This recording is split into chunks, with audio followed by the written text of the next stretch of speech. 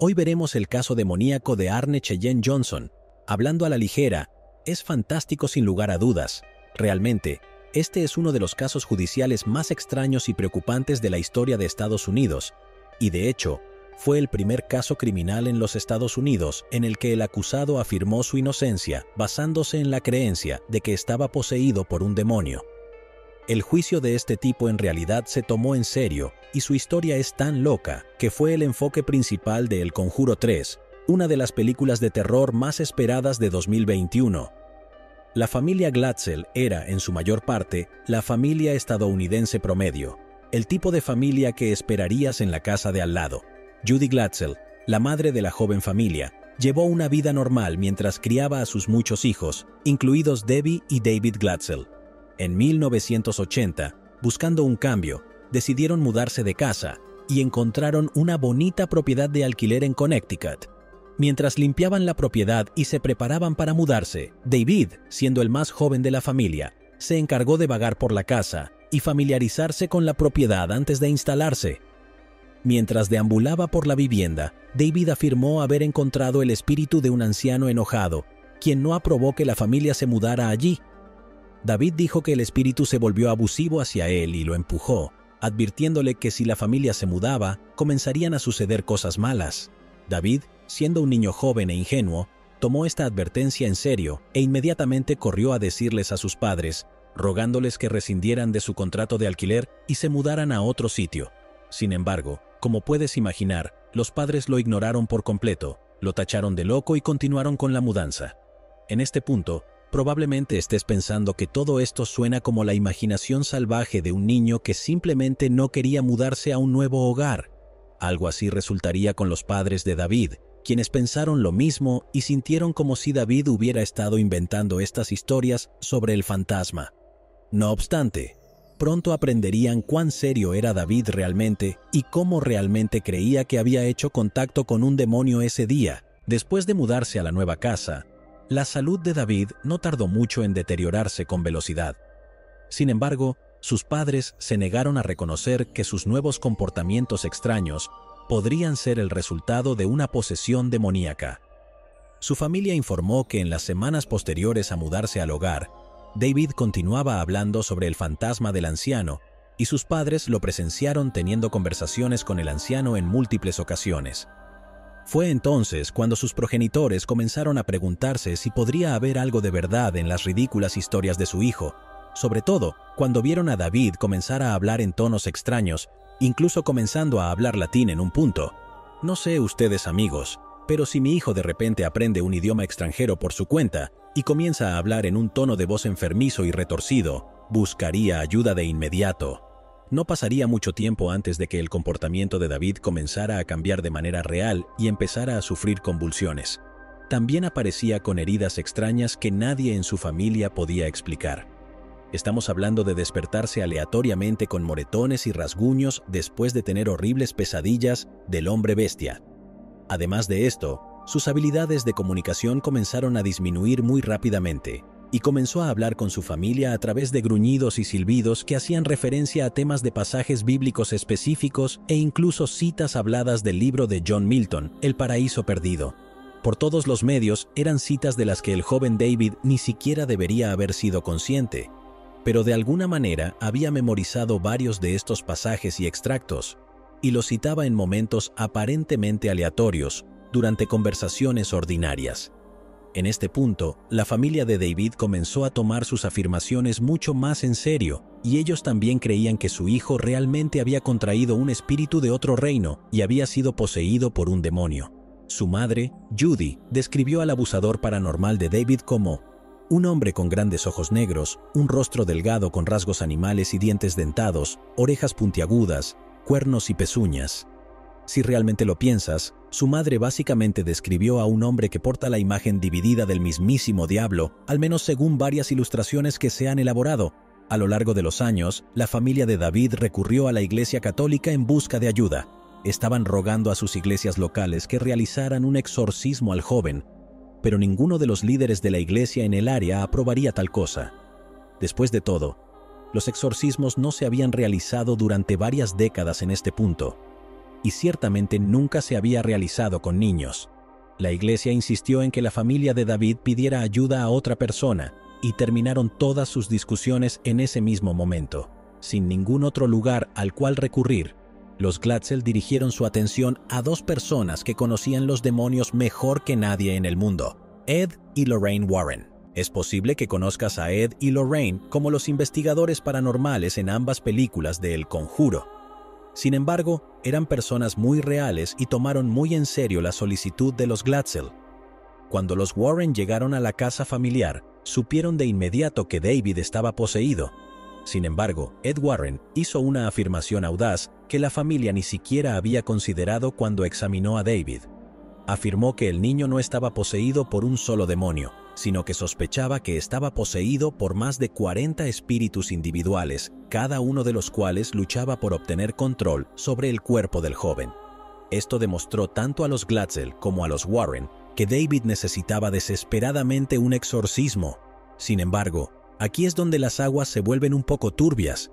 Sabemos que la familia Glatzel se había comunicado con las iglesias locales varias veces antes de esperar programar un exorcismo para su hijo. Sin embargo, fueron rechazados en todas las ocasiones. Ahora bien, los Warren de alguna manera lograron comunicarse con una iglesia local y convencieron increíblemente a los líderes de que este joven necesitaba ayuda cuanto antes.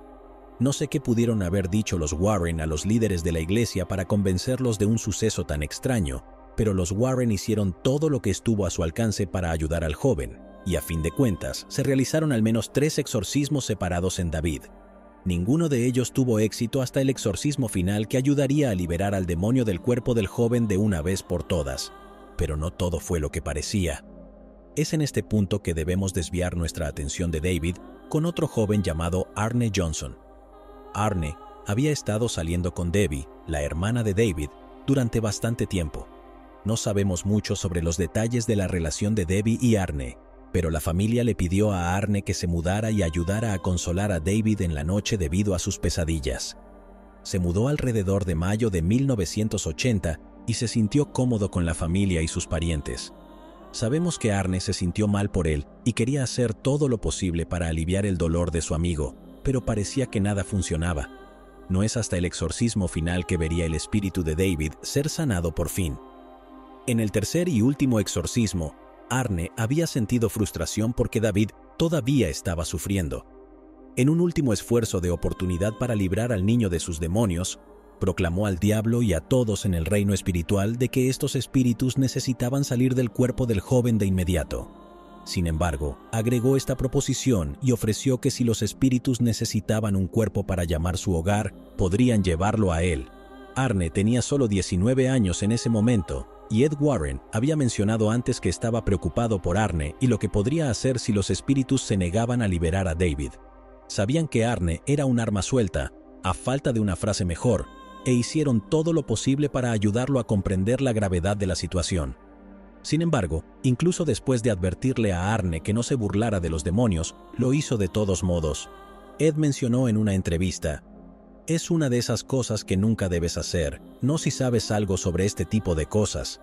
Arne y Debbie se mudaron a una casa propia. Sin embargo, Arne comenzó a sufrir muchos de los mismos síntomas que David había estado enfrentando durante varios meses. No sabemos los detalles de todo lo que Arne pasó, pero Debbie habló en una entrevista y dijo, Entra en trance, gruñe y dice que vio a la bestia. Después no tenía ningún recuerdo de eso, al igual que David. Ed y Lorraine inmediatamente culparon a Arne por esto, considerando que se comunicó con los demonios durante un exorcismo, la única vez que son vulnerables. Solo cuatro meses antes de que Arne fuera arrestado, Lorraine Warren había advertido a la policía que sentía que había una energía oscura rodeando a la familia, y que temía por la seguridad de cualquiera que pudiera estar cerca de ellos. Lorraine habló con la policía al menos una vez sobre la familia y les advirtió que eran increíblemente peligrosos y que los oficiales deberían vigilarlos. Sin embargo, las advertencias de Lorraine no fueron suficientes para evitar lo que vendría. Ahora bien, sé lo que estás pensando. ¿Qué tiene que ver todo esto con algo? ¿A qué lleva todo esto a un juicio, un arresto, incluso un delito? Bueno, la respuesta a esas preguntas es del 16 de febrero, el día en que la vida de la familia Glatzel cambiaría para siempre. Debbie Glatzel había estado trabajando para un peluquero canino local y estaba programada para trabajar el 16 de febrero.